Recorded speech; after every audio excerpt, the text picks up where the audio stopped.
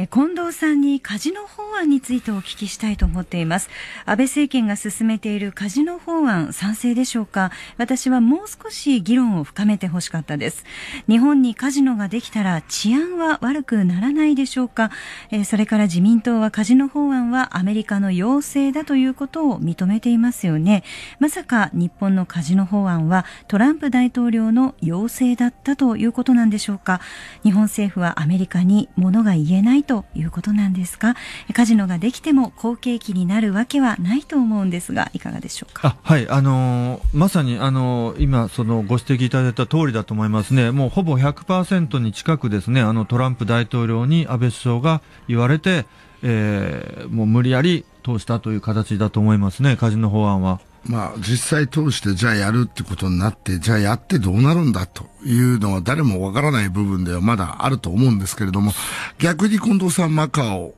というのももちろん行かれたこともあると思いますし、はい。はい、まあ私自身も行ったことあるんですけど、はい他国と比べてっていうのは意外と難しいですよね、そうなんですよね。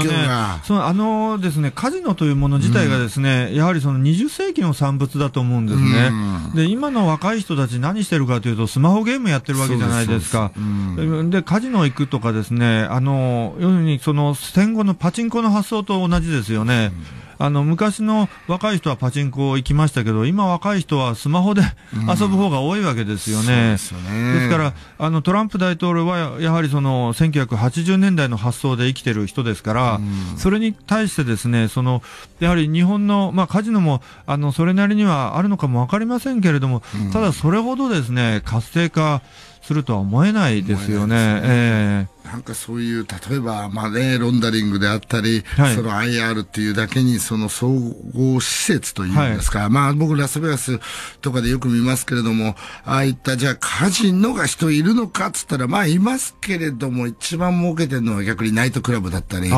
毎月、毎日何億というお金がどんどんどんどん入ってくるようなものがあったり、はい、そういう歌手のコンサート、そしてレストラン、そういうものがまず、こう、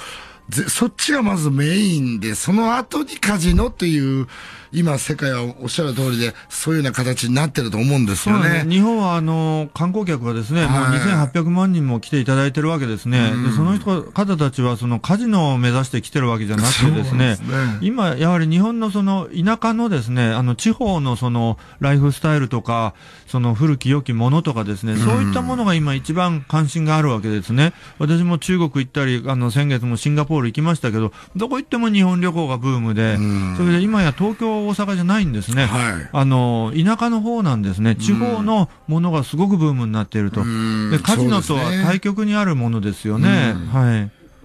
だからその辺がね、今後どうなるのか、というのは今おっしゃった通りで、よく、じゃあカジノ賛成反対どっちなんですかいや、どっち、いや、まあ賛成、反対。それだけじゃないんですよね。そうね。そういうカジノが前に出てきちゃうことが、ちょっと、ねえ、そうですね。で、あの、北朝鮮がですね、はい、あの、今まさにカジノを作ろうとしてまして、うん、あの、ウォンさんの、あの、にですね、はい、カルマ半島という半島があるんですけど、はい、そこに今カジノ建設やってるんですね。で、来年の4月15日、えー、金日成主席の誕生日ですけれども、その日日までに作ろうとして今必死に作ってるんですね。これはもちろん独自でやってるんですか？外資とかは？そこがですね、あの、不透明なんですけれども、あの、これは、あの、単なるその推測ですけれども、6月12日のですね、あの、トランプ、キム・ジョン米朝会。談、米朝首脳会談の時にですね、この話も出たんじゃないかと思うんですね。あの、つまりまあ、トランプ大統領は、あの、カジノ経営者でもありですね、あの、そのバックにいる、あの、シェルドン・アデルソンというですね、ねあの、マカオの。はい、そうです、そうです。はい、あの、カジノ王がいますから、うん、そういう人たちがこう、あの出ていくという可能性あると思いますね、うん、このまま米朝がうまくいけばですけどね。そうですよね、はい、まあ、本当にこのスピードがどんどんどんどん言ってますよね。